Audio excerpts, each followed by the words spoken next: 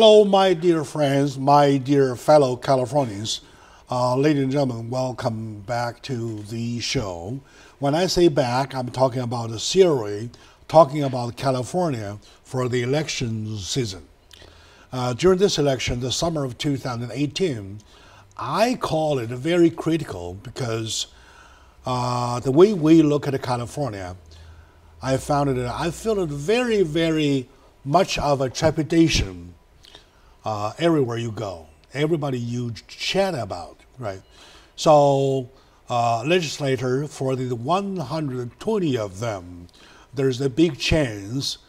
I say, my friends say, lots of my friends say, a majority of them, or big number, at least a big number of them, are either corrupted or not doing the job or, or not doing the right thing or even in the worst case, not in their right mind. I trust me, I have proof to back up Jack Chow is not a liar. I have lots of things to prove uh, that they are out of their mind. Today, however, to cut the chase, I have my good friend, a big man for California, for California future, the candidate for California Secretary of State of California, Mr. Mark Meuser, here joining me. Sir, welcome to the show. Thank you for having me today. On behalf of my crew, on behalf of EDI, and on behalf of California, or Californians who think their stuff straight. How about that? Well, again, thank you for for having me here today, and uh, thank you for giving me the opportunity to speak about the issues that are going on with California and why I'm running for Secretary of State. All right, very good. Normally, I explain to everybody as a start. I ask only four questions. Number one, who you are. Number two, what have you done to make yourself so proud of yourself? Number three, what are you planning on doing once elected? And number four, why you? Why Sounds like four good questions that yeah. we need to discuss today. You want to start with, with one? Start with one. Who is Mark Meuser? Mm. Uh, Mark Meuser is an election law constitutional attorney. Uh, that's how I make my living. But I also I love history. I love the great outdoors. Mm. You know, mm. whether it's bicycle riding, hiking, sailing, scuba diving.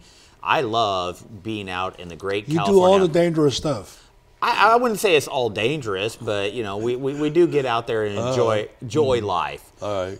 But uh, as an election law attorney, most people have not, you know, don't have never heard of such a thing. Mm. Uh, an election law attorney, I was one of the first attorneys that was flown into Wisconsin and Michigan mm. during the presidential recounts in 2016. So, mm. 2016, we had uh, a presidential election, and Jill Stein raised millions of dollars to do a recount in Wisconsin and Michigan. And I was one of the attorneys that went out there and watch the process to make sure that those people who cast ballots, that those ballots were properly counted and that there had been no hacking of a machine or mm. no hmm. tampering with a machine and thus a machine giving a wrong vote count. So that is, you know, just a little bit of experience. Did you get, oh, by the way, uh, please allow me a little insertion. You go right. Did you get a chance to study, is it lawful to make your preposition or measure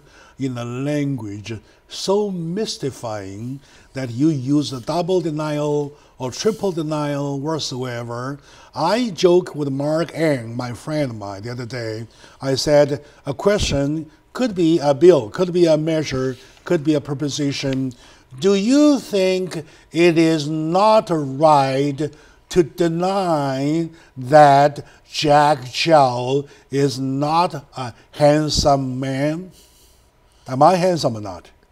I'm going to I'm going to stay get, away from that one. Did you get Did you get lost? Did you get lost? That you had enough du uh, double and triple uh, negatives yeah, in there. You to to to mystify the whole thing. Exactly. Right? So that language, seriously, oh, serious though, I just now said you get involved with all the dangerous stuff. This is the dangerous stuff because your voters get lost. So let's let's step back for a second, and why you asked that question is because the Secretary of State is the chief election officer of the state, and so a lot of people are very concerned with the politics that have been coming on with ballot titles. You know, state of California is one of the uh, states out there that allows the citizens to gather enough signatures to put something on the ballot. The only thing is, it is the California Attorney General who gets to write the summary of what that bill mm-hmm. is. Mm-hmm. And so you can have a bill that says one thing, and if the Attorney General doesn't really like it, he can play with the language of the summary so that it sounds like a yes vote is really a no vote, and a no vote is really a yes vote. Does the And Secretary lot of State, does the Secretary of State has the supervision power in him to make sure things are properly taxed? Unfortunately, the part that you are concerned about deals with the ballot summary, and that is the exclusive authority of the Attorney General of the state of California. So while I'm involved with many aspects of the ballot proposition, the part that you are concerned about really has been the politicizing that's been coming out of the Attorney General's office. And I, as a citizen of the state of California, also have the same concerns that you do that they have so politicized the ballot titles. But unfortunately, um, I don't believe that there's much I can do at the Secretary of State's office because that is a duty and responsibility that the voters have given to the Attorney General as the chief election officer of the state. Very good. I mean, as the chief. Attorney good. of the state. And of course, of course, we we don't want to bring all the crying baby to you single-handedly. We're talking about if there's any chance to help my audiences to clarify the job duties for uh, as as a, a state uh, secretary of state, right? That will be uh, warmly welcome. Yeah. So, what is the job duties for uh, Secretary of State? Well, the Secretary of State, as I've mentioned a couple times, is the chief election officer of the state. That means they're under federal law, state law, U.S. or state constitution. They are they are responsible for maintaining the statewide dat- database of voters. They are responsible for election day procedures. They oversee the 58 counties, and the 58 counties actually execute the elections but it's the Secretary of State that lays out the policies and guidelines of what the counties have to do and how they properly follow election law. And if there are problems, it's up to the Secretary of State to make sure that the counties are actually following election law. Then they are responsible that, you know, the counties count their, their ballots and the counties are responsible for auditing their ballots. But the Secretary of State is responsible for certifying the voting machines that we use. They're res- responsible for doing independent investigations outside of the counties hmm. so that way you know if the counties are actually doing their job right. Are, are the counties hmm. actually following election law?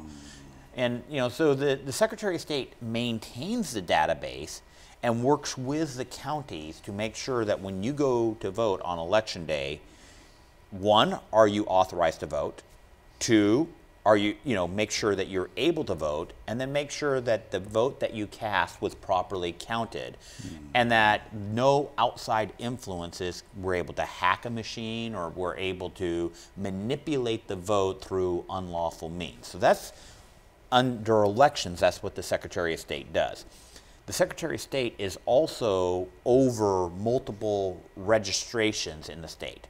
So if you're an entrepreneur who wants to do business in the state of California, the first government entity that you will interact with is the Secretary of State Yeah, yeah. Mm. to register your business. And so who's your on your board of directors, that's going to be filed with the Secretary of State. Also, it's going to be over a couple other registrations. You know, the Secretary of State is over uh, Notary Public, so if you want to be a Notary Public, that goes through the Secretary of State, and miscellaneous databases like that. It's also over the state archive.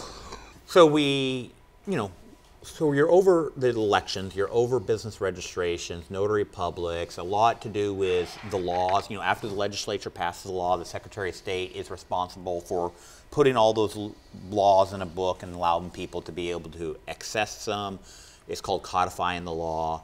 You know, the chief over the state archive, so you know, you know, they're the keeper of the state seal and stuff like that. So official duties is more the secretary of the state. They're the keeper of the state's records, with also the duty of being over the election. So that's what the Secretary of State does, and they're responsible for interacting with the, the people of California, running the databases, and making sure that when you're interacting with the state of California, that the records are properly kept.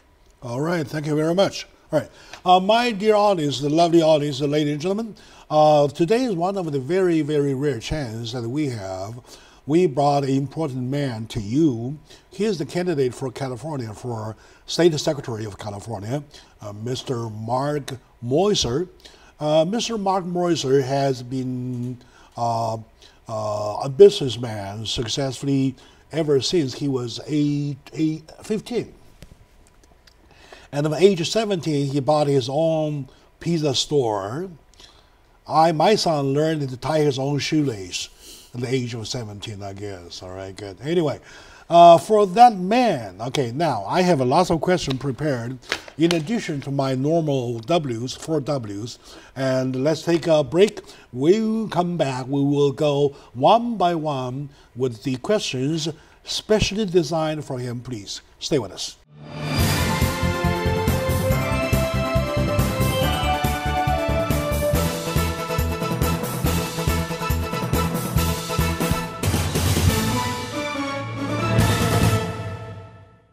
Hello, dear friends, my lovely audiences, uh, dear fellow Californians. Welcome back to the show, Jack Chow on the East West Show with GNE TV. Today we are touching base with you for another seat that possibly needs a change of hands. That is Secretary of State for California. With me is the candidate, and he is number two of it, right? Uh, Mr. Mark Meuser. I like him. I like uh, his him uh, starting from, from the point when I started doing his uh, homework, right? Checking his background. Now, question: What has or what have benefited you when you started to be successful in doing business at a very young age?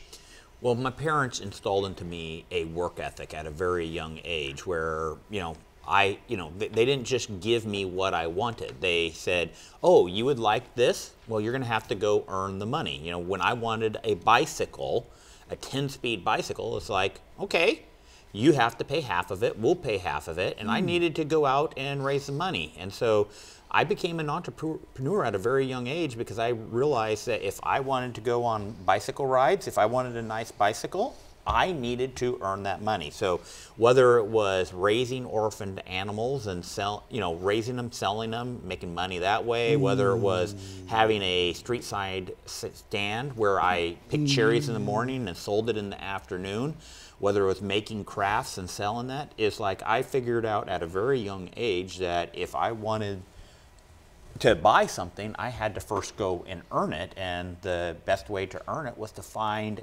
needs in the community and to meet those needs. Does that mean that early experience make you made you tougher, smarter, more durable, or anyway, what has benefited you? Well, I mean, to to get started at a business at in such a young age, you know, really, you know, you just start that education that much earlier. You know, rather than waiting until you're 25 and out of college, and maybe you start in the business community. And you were you were hired on a managerial position at the age of fifteen. yeah, age 15, That's- I was already assistant That's manager. incredible. Age fifteen, they know nothing. They know Nintendo game. That's it. Well, uh, I because of all the entrepreneurial experience that I had, it, I, was, Uh-huh. I was able to move up the chain very fast. Mm-hmm. Okay, uh, let's move on to the next question. How would you compare money gained while doing business successfully and experiences obtained during the same period of time thereof? Well, I mean, to me, mm-hmm. money is a tool. You know, I earned money so that I could do things, whether it was, you know, at age 12 being able to buy my first 10 speed bike, you know, so I could then get on a bike and ride That's a- to the that- library That's and a go miracle already. you know, and so I could go read or what the books that I wanted to, you know, do. Hmm. You know, later I saved money to buy my own restaurant where I had my own restaurant at age 21.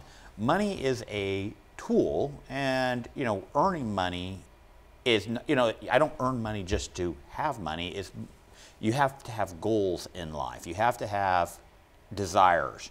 And so I don't see, you know, oh, just I want to be a billionaire. No, it's like I need this kind of resources so I could go do, you know, do this. And so right now I'm uh, running for Secretary of State. It costs so much money to do so. So, you know, it's the, the goal is not money.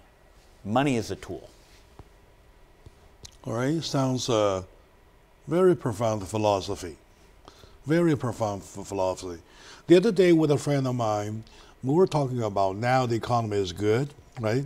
Lots of young people off uh, fresh off uh, high school, they want to start going into higher education to get a huge loan burdening them from that point on for almost the rest of their life, or majority of their rest of life. Though they'd rather they'd rather start something like you did. You bought your own pizza store 17, age of 17, and you were successful, considered businessman successful at the age of 21. And then, with the money, with the experiences, that's why I'm asking you Yeah. to compare the money and the experiences, which equipped yourself up, and then you went to law school. Yeah, law school, going to law school or becoming What an attorney was, what a was beautiful second career. It was a second career for me. I'd already, Oh, the second career. yeah, I'd already had, you know, what, Mm-hmm. uh, 10 years in the restaurant business by the time I went to law school. You're right. You're right. You're right. You're right. You're right. You're right. You're right. But that's because I started, Mm. you know, business at such a young age. I, you know, had, you know, been in the restaurant industry at such a young age that by the time I even went to law school, I'd already been in the industry. You know, I'd been in hmm. restaurant for 10 years and you know, I had when I had a whole different perspective of why I was in law school than most of my classmates who were 7, you know, 8 years younger than me at times. So, hmm. Okay, very good. Very good. Obviously, you were you were you have portrayed a a unique model that probably lots of young people could follow, right? And now, I have the following descriptions of politicians. okay. Right. Number one, they are uh, the career politician who do politics for a living. Oh, otherwise they are they're starving, Yeah. right? They do politics for their milk and the bread, right? And the two, and the two means the politicians uh, who understands business and are with a reasonable knowledge of some money, how money is made. And number three, business people who either are chosen by politics or sneak into politics. Yeah. So they decided to do a politician. Among the three, though, how do you pick? How do you, what do you recommend Californians pick and why? That's a Yes. bigger question that has to be answered in each of the categories, please. Well, let's let's start with your first category. Somebody who's been in politics their entire life. That could be like a John Quincy Adams, the sixth president of the United States. By age 14, he was already a secretary to an ambassador in Russia for the United States of America. You know, he was Secretary of State of the United States. He became president. Then he went back to Congress for 16 years. Yes, there were times in his life that he had a law degree, but because of you know over 50 years in government, he was a you know, there are people who hated his guts because he did he stood for principle over party. He's a notorious for But- for his presidency. Uh, we know that. Yeah. they respected him because you know they understood he knew what he was talking about. His father was the second president, that one of the signers of the Declaration of Independence. Now on the far other extreme, you got somebody like Donald Trump, who was an ex- successful businessman who then became president of the United States. And so you're you're you're talking about which one is better and uh, or which one should people be looking at. And there are advantages to both and you al- almost need to look at what is the current situation and are, are the people in charge doing their job? You know, I'm running for Secretary of State, the chief election officer. I'm running against the Democrat incumbent. He's held the position for the last four years. Before that, he was in the Senate, and you know he has a long political career. But let's look at what his record is right now. According to MIT, which just did a study of all the states in the union, looked at all the elections across 17 different measurables, they found that California elections are the third worst in the nation. Hmm. That is a failing grade. So MIT mm-hmm. has given California elections a failing grade. Sometimes, if you are a career politician, you get so caught in the rut that you can't mm-hmm. think outside the box. And if you can't fix the problem, hmm. maybe it's time to bring in somebody with an outside perspective.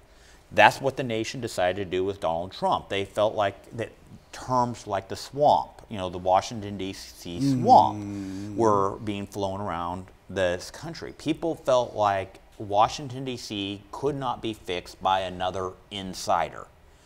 Knowing all the ins and outs was not going to fix the problems. You needed somebody outside the box. We are seeing that California elections for the last 10 years have consistently been ranked in the bottom five in the nation. We don't have proper uh, security, cybersecurity on our websites. We don't have proper protections of our voter registrations. Our voter databases are in absolute shambles. We have problems with uh, our military being unable to vote. We have high provisional ballots, ballots not being counted. ACLU is suing the state because 45,000 people in the state of California had their ballots uh, not counted. So when you have this kind of problem, and you've been electing nothing but insiders for the last 20 years, it's clear that the insiders can't fix the problem because they they don't know how to approach it from an outside problem. That's where you want to bring somebody in like me. I happen to be have been involved with politics since I was 14 years old. So I understand what's going on. Even though I haven't held elected positions, I've been active in the political community. But I've been out there in business. I've been out there in law, whether it's doing uh, election law, constitutional law, representing business clients. I've had to go out there and think creatively to find solutions to problems. And so rather than bringing in a career politician who wants to hold the seat warm while they wait for an opening for All U.S. right, very good. Let's cut here right away for another segment. Okay. And it looks that we really need to go into it. Uh, that reminds me of talking about the uh, past June election, and there's lots of questions to talk about. So stay with us, please.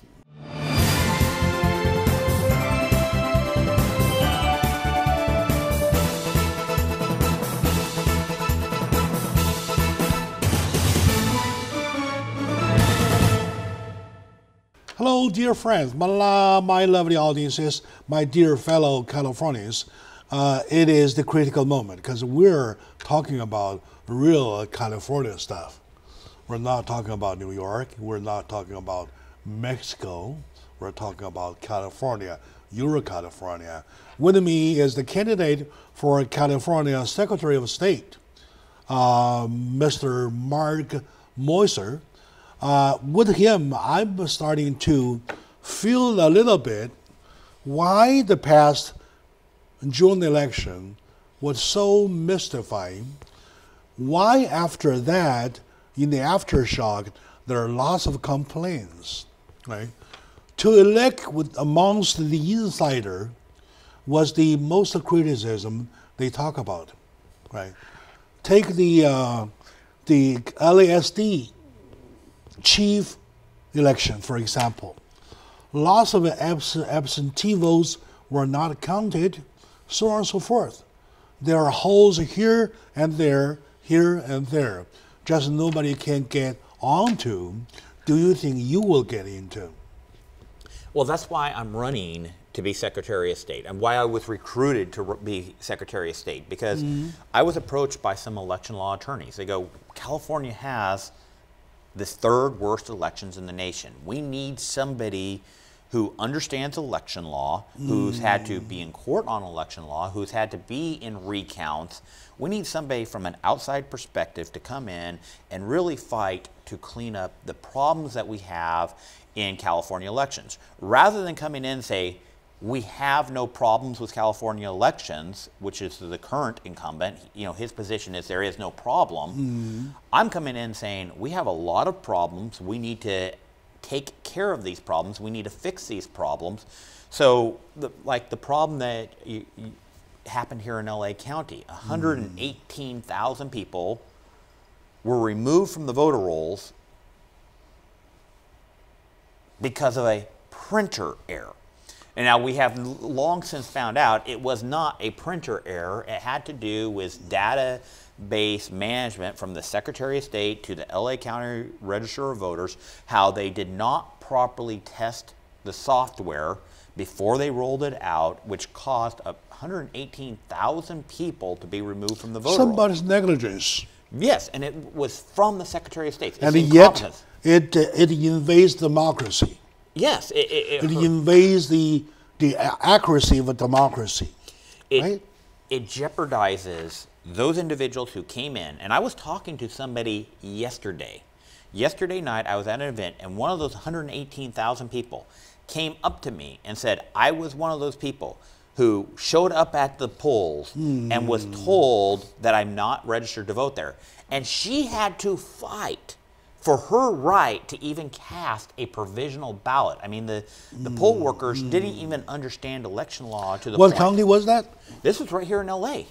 Uh huh. All right. Okay. Yeah. So mm-hmm. we this is this was a real live problem. And what was interesting is she is a landowner. She owns an apartment complex, and she actually looked at who was registered to vote in her apartment complex that she owned. And there is a saying that uh, this election could be orchestrated. How big do you, do you think is the chance that somebody orchestrated the past election? Well, I'm not. I'm going to always say that there are both sides of the aisle. There are always people who are trying to get out their base to vote you know whether it's you know whether you're working on the phones trying to encourage your people to show up whether you're going and knocking door to door encouraging more participation in the process there's nothing wrong with getting out the vote.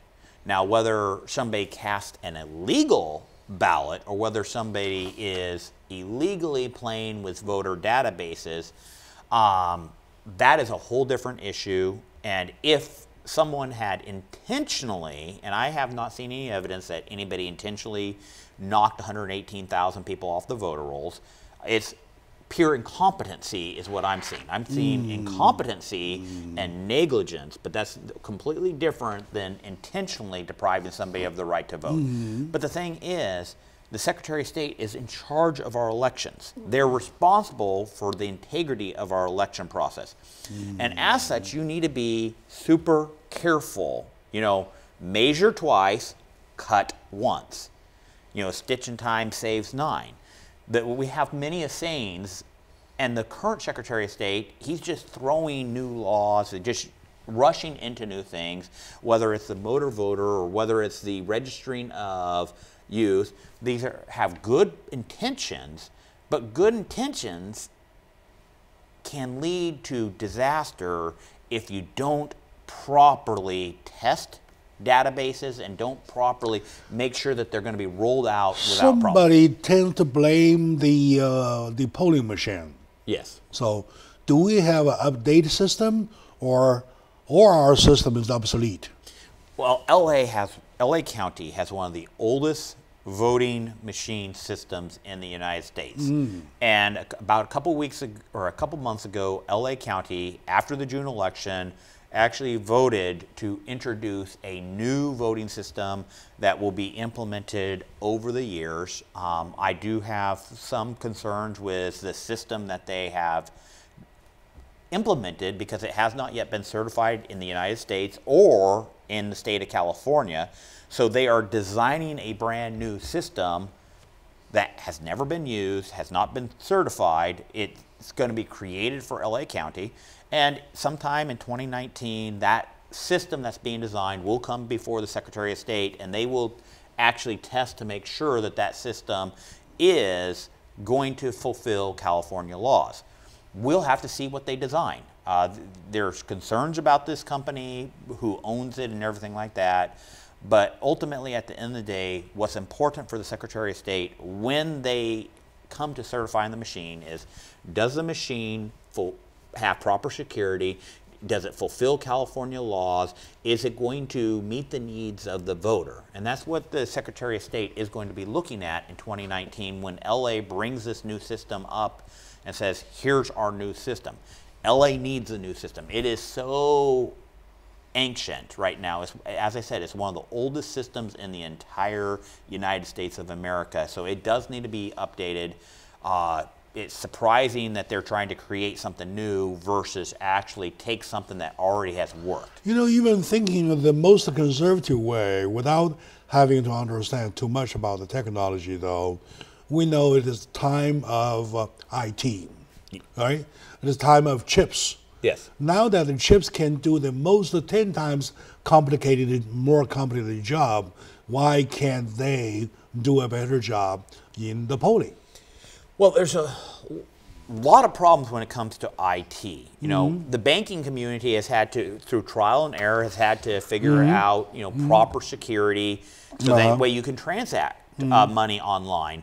Uh, the problem is governments sometimes can be a little bit cheap. They're, they're not as uh, diligent as the private market, you know, because for whatever reason they is oh top level security cost a billion dollars but low level security cost a million dollars. Well let's go out and tell the voters that we saved 999 million dollars. But in reality if you don't have proper security in place you jeopardize the voting system because you create loopholes for outside interests to manipulate the vote Exactly. and so banking, you know, because they are a private entity and they're, you know, they're going to get sued if they lose your money, they have created very high standards of protocols for technology.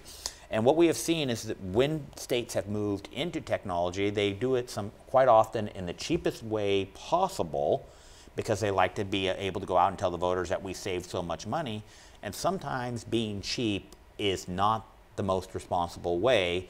And they and and then when voters start seeing problems, I mean, we've been dealing with technology for almost 18 years, and every time there's a problem, now voters are really concerned about using technology because it can be hacked, or you know, 11-year-old hacks a county website and changes the votes, and people go, "Oh, well, I don't want to use technology if it can be so easily hacked." Well, the problem is instead of bringing the hackers in like the banks do, they hire white hat hackers to find their vulnerabilities, and so they fix them ahead of time. Unfortunately, what we have is secretaries of states going, oh, that's not a real life example. They're shunning the technology and they're not listening to those people who are experienced in finding the loopholes, and they're just kind of trying to come up with solutions that are sometimes don't actually solve the problem and they actually create more problems. So, yes, we know that technology exists, that we could do our elections, but we have to also make the commitment to have the proper security and the proper measures in place so that way no one no outside interest can come in and penetrate the system and destroy the, the, the vote of In any the argument of which technology uh, is to use, though, do you see, or is it possible, some group interested in it, related? Well, there's always going to be anything, anytime government does something, there's always going to be somebody who has an interest in it. Mm-hmm. Whether it is the business who's designing the software, or whether it is a political party, or whether it is a special interest, anytime government's doing something, there is always someone who gets a, a benefit mm. of that.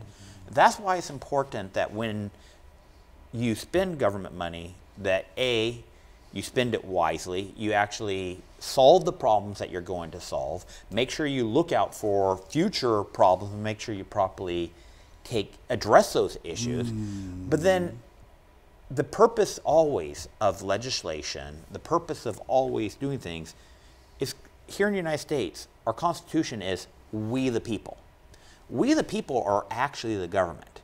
And it's the purpose of the government to be serving the true government, we the people. Mm. So, as Secretary of State, my focus always needs to be on are we solving the voting problems here in the state of California for Californians? Not, well, if I enter into this contract, it's going to benefit this person who makes a contribution to, to my party or anything like that. That's not what the duty of the Secretary of State's office is to help outside interests. My duty is to we the people. That's very good. That's very well said. I like this statement. I like the my duty versus the we the people. Uh, stay with us. We'll be right back.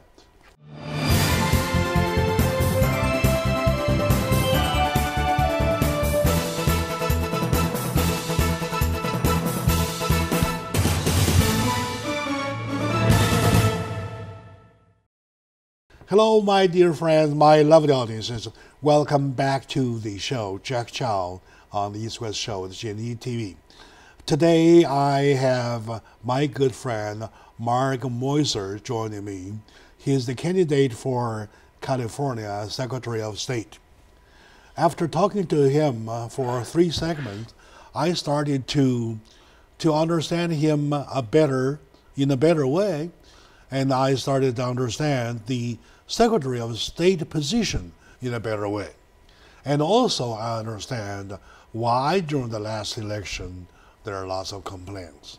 Everything point out that number one, if we need to save money, there are lots of better ways to save, not by doing so, by reducing reducing the quality of service, by reducing the accuracy. Right? Now, when we want the job done, we want the job done perfectly to the benefit of we the people. Right? For that, we believe it is time to send somebody there. So question, once you're elected, what will you do? Especially what will you do different from others? Okay, I love that question. When I'm elected, and that election day is November 6th, so it's going to be here before we know it. Uh-huh. But as I started off in the program, I'm talking about the various aspects of what the Secretary of State is responsible for. I mentioned that they're over the voter registration rules. Voter registration rules are the foundation of every good election. Why is that? Because it helps the voters know where they're supposed to vote and make sure that they can't vote multiple times mm-hmm. in different precincts or multiple times in the same precinct. So voter registration is a foundation. Right now we have a problem in the state of California with 11 counties with over 100% voter registration. How do we fix that? Hmm. It's called database management. Now, earlier this year there was a lawsuit and the state of California filed a brief with the United States Supreme Court in which they said there are 11 different government databases that can be used to clean the voter rolls. But the state of California is only using three of the 11 databases that they said that they're allowed to use. One of those databases is the Social Security death records. I think we need to use the Social Security death records so that if you pass away, let's say in Colorado, Uh, your name will be removed from the voter registration rolls. That is one of the first things that I want to do is I want to take those various government databases and start comparing them to our voter rolls. And that way, if you are no longer alive, you're no longer registered to vote in the state of California. If you have moved from the state of California, we remove your name from the voter rolls. If you are not a citizen of the United States, then we will remove your name from the voter rolls. And the reason why that is so important is because if you are a green card holder and you end up voting in a federal election, when you appear before a federal immigration judge, they can deny your citizenship and they can deport you. Yeah, you're right. You're right. Mhm. And so it is critical that the Secretary of State actually clean up the voter rolls on a regular basis to remove from them those people who are not authorized to vote. Because if you are a green card holder and you receive in the mail balloting material from the state of California, you're going to think, oh, I must be allowed to vote. The state sent me balloting material. But the fact that you vote is going to be, it, it could cost you On your dream. record. It could cost you your dreams. And you could end up going back to the country after spending years in the United States doing everything you can. So it's hmm. important that the Secretary of State actually goes in, cleans up the voter rolls so that way we don't create victims of those people who are trying to become citizens of the United States. So my first priority is to clean up the voter rolls so that only those people who are eligible to vote are hmm. able to vote. The second thing I want to do is I want to use my office of Secretary of State. I have the constitutional duty to investigate our elections. And I want to actually investigate our elections. I want to investigate who may have cast um, illegal ballots.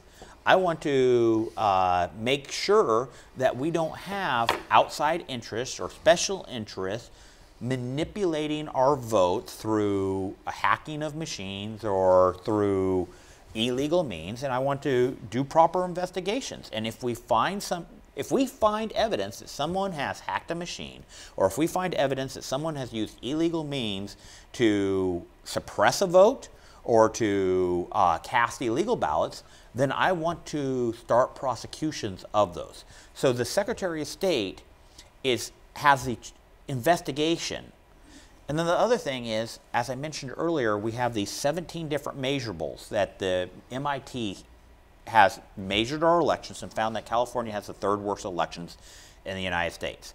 I want to take those 17 measurables, I want to see the ones that we are doing very poor on, and we're going to start improving in those categories, like our military ballots. Right now, only about 30% of our military overseas ballots actually get returned whereas the national average is about 70%. So we are over half, or we are under half of what the national average is when it comes to our military voting in the state of California. And I've had many military personnel tell me that they never even received their ballot so that they could vote.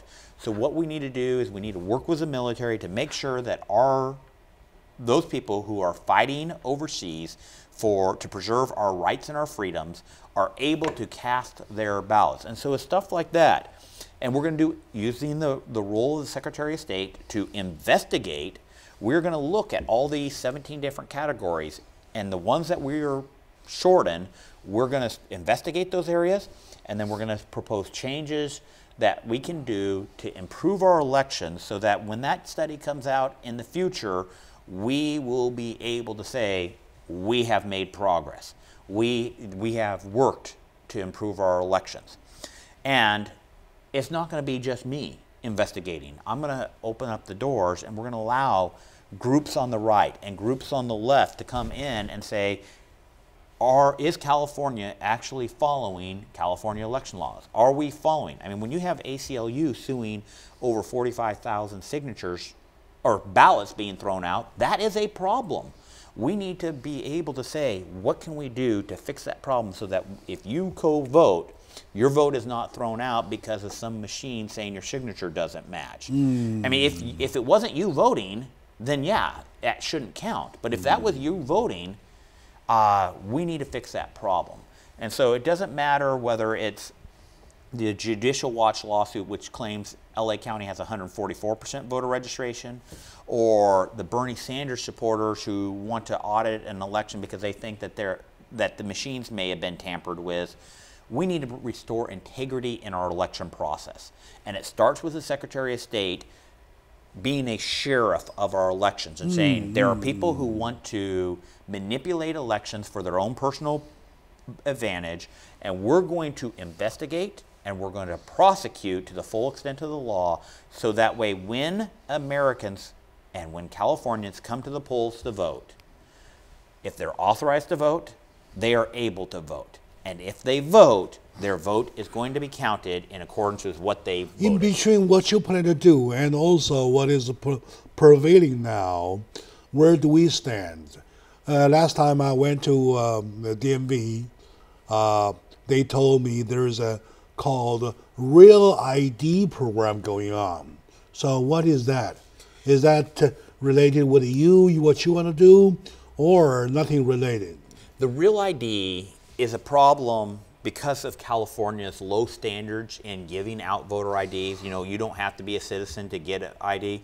Federal government says if you're going to be coming into a federal building, if you're going to be flying on a plane, we need to know who you are. Mm-hmm. And so we are no longer going to accept California's IDs because they have not they're not proper IDs. They're not properly identifying who the person is. And so as such, the federal government said, here's real ID. And if you want to come into a federal building, if you want to, uh, if you want to fly on an airplane, you have to first either A, live in a state that has a proper ID, or B, get one of these real IDs.